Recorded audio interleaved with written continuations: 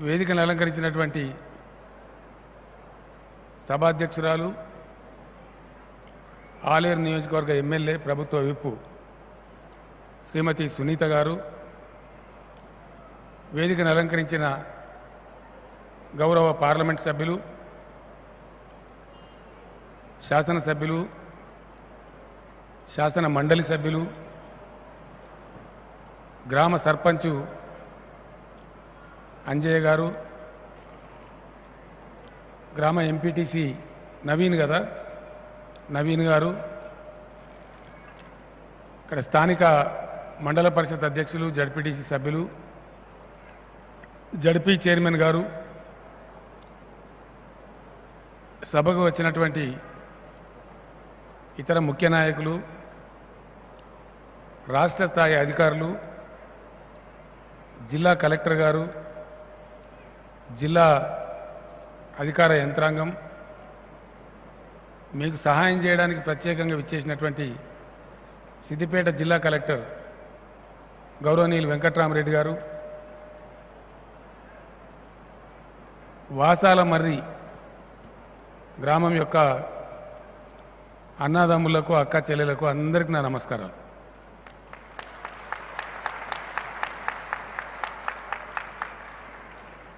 సప్పట్లు కొట్టుడు కాదు పని చేయాలి.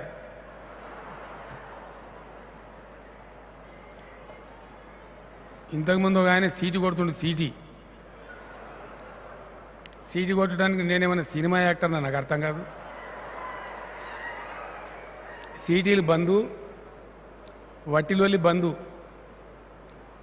రేపటి నుంచి అంజయ్య గారు నవీన్ గారి నాయకత్వంలో అద్భుతమైనటువంటి పని జరగాలి.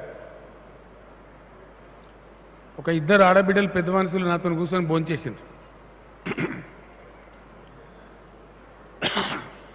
ఆకుల ఆగమ్మ చిన్నూరి లక్ష్మి. నేను వాళ్ళని పక్క కూర్చోబెట్టుకుని అన్నం తిన్నా. ఆఖరికి నాకు రెండు అలనేరేడు పండ్లు పెట్టింది. తినమ్మా అని ఆమె కూడా ఇచ్చిన ఆగమ్మకు అలనేరేడు పండు. ఊళ్ళో ఉన్నాయా అలనేరేడు చెట్టు అంటే లేవు బిడ్డ మొత్తమే లేవన్నది ఊరికి ఇట్లా ఉంటుందా? అలనేరేడు చెట్లు లేకుండా? ఉంటుందా? మరి ఎందుకున్నది? మర్చిపోయినాం మనం. మళ్ళీ అన్నీ రావాలి. ఇంటికి ఒక పొయ్యిల కట్టి ఇచ్చినామనుకో ఆ ఖర్చు తప్పుతుంది కదా? బాగుపడానంటే ఎట్లుంటుందంటే నేను మీకు ఒక విషయం చెప్తా. ఒక ఆయన ప్రొఫెసర్ హాష్మి బంగ్లాదేశ్లో ఉంటాడు ఆయన. ఆయన బాగా సమాజం కోసం ప్రజల కోసం ఆలోచించే మనిషి. సమాజాన్ని బాగా అధ్యయనం చేస్తాడు చదువుతాడు. ఒకరోజు ఆ ఢాకా సిటీలో ఫుట్పాత్ మీద నిల్చొని ఉంటాడు. ఒక ఆడవాళ్ళ గ్రూప్ పోతుంది ఒక ఐదుగురు ఆరుగురు. వాళ్ళని చూస్తే ఆయనకు బాధ అవుతుంది. వాళ్ళ బట్టలు మంచిగా ఉండయి పాపం పేదోళ్ళు. మళ్ళీ తెల్లారి నిలబడితే మళ్ళీ సేమ్ పోతుంటారు వాళ్ళు. మూడవ నిలబడితే కూడా మళ్ళీ పోతుంటారు. ఆయనకు అప్పుడు ఆసక్తి కలుగుతుంది. వీళ్ళు ఎవరిరా బాబు చూద్దామని? వాళ్ళు ఎంబడబోతారు వాళ్ళు యాడికి పోతారు?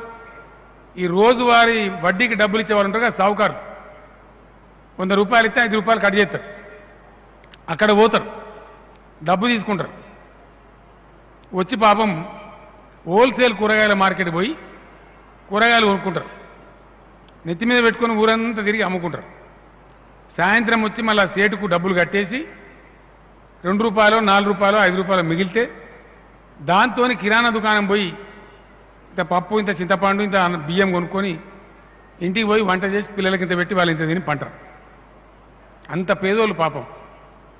ఆయనకు చాలా బాధ అవుతుంది ఇంత కష్టం చేసి బతికే ప్రజలు ఈ సావుకారుగాడు వీళ్ళని ఎత్తికొడుతున్నాడు రోజుకు ఐదు రూపాయలు వాళ్ళ కష్టాన్ని దోసుకుంటున్నాడు. వీళ్ళు ఎట్లనే వీళ్ళని ఎట్లనే చేసి గడ్డకేయాలి. అని రాత్రంతా నిద్ర ఓడు బాధపడతాడు. తెల్లారి గట్లకి ఆయనకు ఒక ఆలోచన వస్తుంది. ఒక ఐడియాకి వస్తాడు. తెల్లారి పోతాడు. మళ్ళీ ఆయన నిలబడతాడు. సేమ్ ఆ గుంపు మళ్ళీ వస్తాడు. రాగానే ఓ అమ్మాయి రాండి అని పిలుస్తాడు. వాళ్ళ దగ్గరికి వస్తారు సరే మీరు అక్కడ తీసుకుంటున్నారు కదా వడ్డీకి. ఐదు రూపాయలైనా కట్ చేస్తాడు. నేను రెండు రూపాయలు కట్ చేస్తా. మీరు రేపటి నుంచి నా దగ్గర తీసుకోండి అంటాడు. పేదవాళ్ళకి అదే గొప్ప కదా మూడు రూపాయలు గొప్ప కదా. తెల్లారి నుంచి పాపం ఈయన దగ్గర తీసుకుంటారు ఈయననే ఇస్తాడు. ఒక ఆరు నెలలు కాలం జరుగుతుంది. ఆరు నెలల తర్వాత ఆయన చెప్తాడు వాళ్ళకు అమ్మ మీ మీద నేను చాలా వ్యాపారం చేసుకున్నా. మీకు అన్నం పెట్టాలనిపించింది. మీరందరూ రేపు మా ఇంటికి భోజనాన్ని రమ్మని పిలుస్తారు. మీ భర్తలను మీ పిల్లలను కూడా తీసుకొని రండి. అందరు కలిసి ఆయన ఇంటికి భోజనానికి వస్తారు.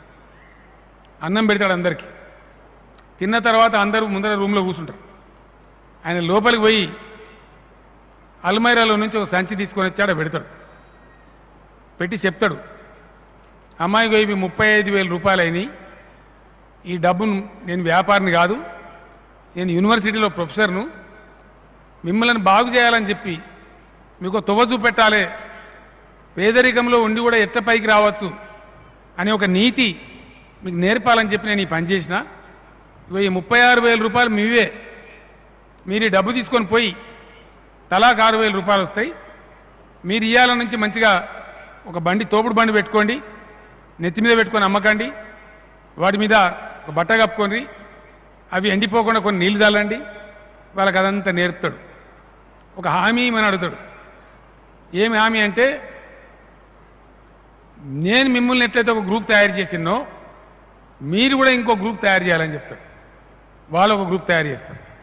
అంటే కష్టంలో ఉండి కూడా పేదరికంలో ఉండి కూడా ఆ సంపాదించిన పది రూపాయలలో ఒక్క రూపాయి దాచిపెడితే ఎంత అద్భుతంగా పైకి రావచ్చు ఆ దరిద్రం నుంచి అనేది ఆయన చేసి చూపెడతారు. ఇట్లా అనేకమైన ఉపాయాలు ఉంటాయి. అనేకమైన మంచి విషయాలు ఉంటాయి. ఇలా మనకు చెప్పేవాళ్ళు లేరు. ఆగమాగం అడివాడి మోటార్ సైకిల్ కిక్కు కొట్టమంటే పోతూనే ఉన్నాం మేము దారిపాడు నేలవిడి సాం చేస్తున్నాం. గ్రామ సర్పంచ్ గారికి నా మనవి. గ్రామ పంచాయతీ మెంబర్లకు కూడా నా మనవి. గ్రామ సర్పంచ్ ఎట్లుండాలి?